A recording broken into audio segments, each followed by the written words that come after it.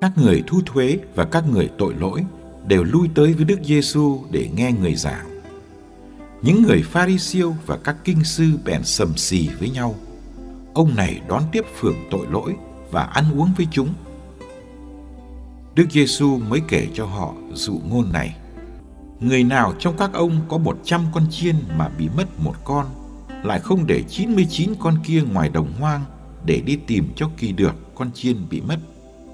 Tìm được rồi, người ấy mừng rỡ vác lên vai. Về đến nhà, người ấy mời bạn bè hàng xóm lại và nói, Xin chung vui với tôi vì tôi đã tìm được con chiên của tôi, con chiên bị mất đó.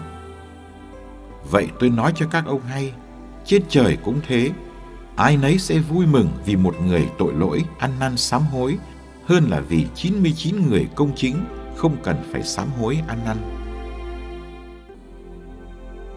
Hoặc người phụ nữ nào có 10 đồng quan mà chẳng may đánh mất một đồng, lại không thắp đèn rồi quét nhà, moi móc tìm cho kỳ được.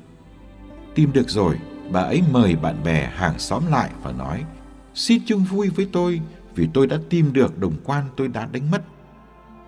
Cũng thế tôi nói cho các ông hay, giữa triều thần thiết Chúa, ai nấy sẽ vui mừng vì một người tội lỗi ăn năn sám hối.